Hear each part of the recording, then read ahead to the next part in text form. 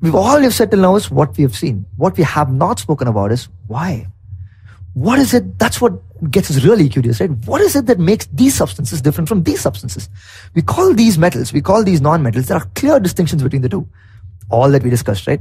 All of these show this, all of these show these properties, right? There could be some exceptions, of course, like any classification we make, right?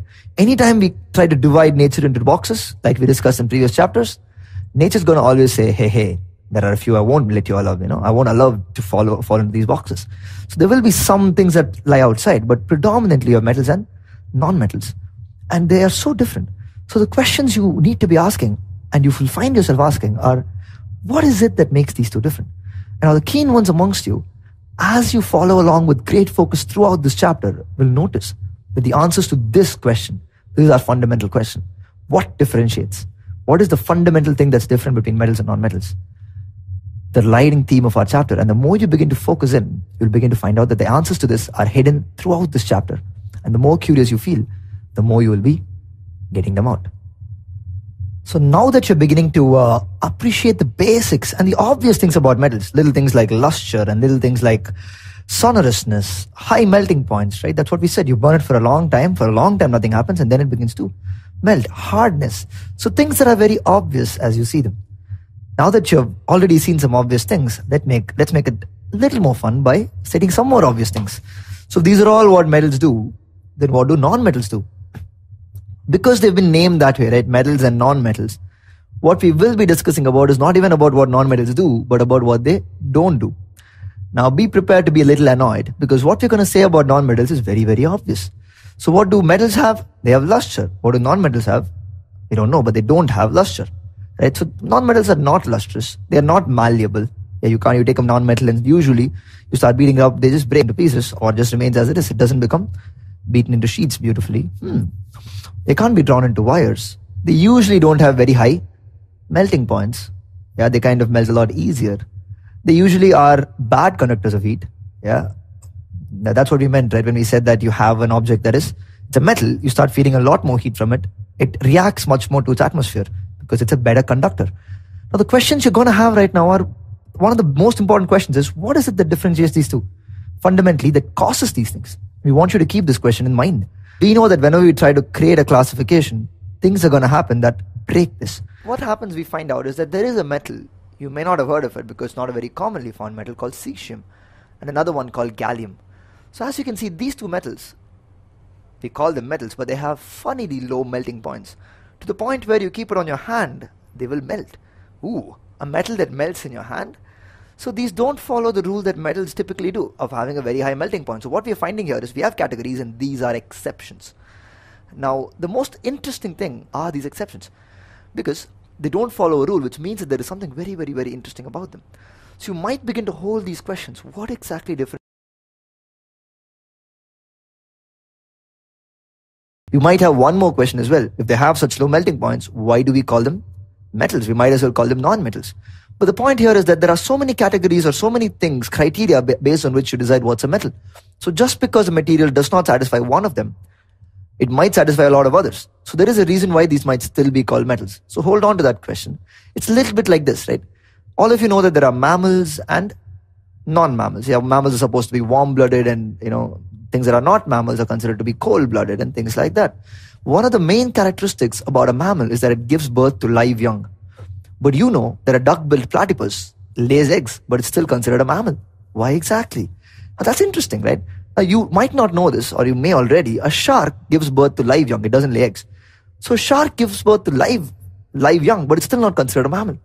So it's something like that, right? We build categories, but there are always creatures that fall under like a spectrum where they follow some of those and some a lot of these or some of this and a lot of that so you're kind of having to make a decision as to where to put these and you kind of put it in one of these two places it doesn't really make much of a difference once you understand the real depth of what's happening here so you understand there are some 10 things and if something follows 8 and follows two from the other category, you still call it a metal. So cesium and gallium, as we know, have very, very low melting points, but they're still metals. Now, iodine is not a metal. It's kind of like a yeah, it doesn't show any other properties, but it is lustrous. So it begins to start piquing your curiosity, doesn't it? How can a substance that is so different all of a sudden show one property alone that a metal does? So similarly, we said that metals, non-metals usually have low melting points and are not very hard, right? Metals are supposed to be harder. But it turns out, even though most metals are hard, the hardest substance known, diamond, is a non-metal. It's, it's a form of carbon. It's a form of carbon. How many states does carbon exist in? Yeah. Interesting question, right? So carbon happens to exist in two forms. How are these two forms different? What exactly differentiates the different forms of carbon? Now, these different forms are called allotropes. You might like remember that, but it wouldn't mean anything if you don't really understand what's happening. So these allotropes, one of them is diamond, the hardest substance known. Oh, already one more exception. And another one is graphite. Now, one more thing about nonmetals is they don't conduct electricity and heat. Now, why are these two related so, so often, right? Something that conducts heat also usually conducts electricity. So some connection there. So one more question we've kind of gifted you. So this graphite, what it does, a form of carbon, an allotrope of carbon, conducts electricity. Ooh, a non-metal once more showing an exception. And another interesting thing is that one of the fundamental things we, found about metals is they are hard, right? They're really hard. But it turns out that there are metals called alkali metals. Yeah. So we are going to talk about these metals, very special metals, very, very, very active, you know, very, very funny metals. Those can be just cut with a knife. Talk, talk about hardness, right? They can be just cut with a knife. They, they, look, they behave like soap. So you cut them with a knife and it, and it works, which means they're very, very soft. So one more exception that we have here. But the most important thing right now is not in remembering these exceptions or the properties. Metals are lustrous, metals are ductile, metals are malleable, non-metals are not. You know, you have a table in your mind and you remember this, remember that, remember this, remember that. And then you also take pride in the fact that you remember it just the right order, right? Luster comes first and then ductility and then malleability and then, oh wow, isn't that wonderful? Yeah. But notice what happens as your focus shifts from that to knowing what it is to the questions of why. If you already haven't had this question, the question we want you to focus on is why or what fundamentally is making or creating all these properties. And as you begin to think about that, you might also begin to ask questions. Silver is the best conductor of electricity. It's a metal, right? Gold is the most ductile element known, right? At least as far as the records go. So it says that one gram of gold, you can take about two kilometers of wire. Now, the question we want you to focus on is not remembering that silver is the most or the best conductor of electricity, but asking, what is it that, what is it about silver that makes it do this as compared to all other substances that we know? It's a much better question to ask. So as your mind focuses on the why questions and goes towards the basics, keeps digging towards the basics that are, that are going to make it so that everything else seems obvious so that you don't have to remember it. The one question we want to tell you, or the one kind of hint we want to drop, is that the answers to all these questions does not lie in the level at which we watch the world. We see lamps, we see tables, we see the sky, we see buildings. But at this level, it's just way too hard to understand what's happening and why these are all different. They all look the same to us. Yeah, except for the simple physical properties that we use to differentiate them. Like this is shiny, this is not shiny, this is hard, this is not hard. Yeah, too superficial. If you need to understand this really, really deeply, we have to do what we did even in our previous years to understand chemistry. Is to do what they did in the movie Honey, I Shrunk the Kids. Shrink yourself so small and isn't that something that's funny to do? Because when you go become really, really, really, really small, what appears smooth and simple at this level completely changes as you go down.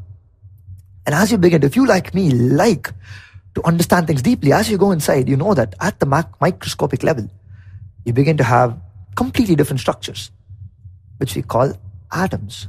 And atoms come together to form molecules. They come together to form bigger and bigger and bigger chunks. And it's, it's in the way these things come together and it's in the way these things split apart and behave and move around from which all these other things come. So this is one of the questions for which the answer lies, answer lies hidden somewhere in this chapter itself. So we urge you to keep looking around with these questions in mind. So we've raised a lot of questions, if you notice, in this one module itself. And so to get into the, the first step of getting into the microscopic process or the atomic level is to understand and try and play around with these at the chemical level. So instead of looking at it and trying to understand what the physical properties are, yeah, even though the difference between physical and chemical properties is a pretty interesting one, we want you to pursue that question as well. So we've added one more question. The real thing that we want to do is, along with those physical properties, also in our next module, try and understand what happens to these metals and what happens to non-metals as we begin to start playing with various things. What, what, is, what happens if we play with air? What happens if we play with water? What happens if we play with some pretty interesting substances called acids, which you've just seen in your previous chapter? So the more this begins to happen, the more you begin to understand what makes metals what they are. So let's do that in the next module.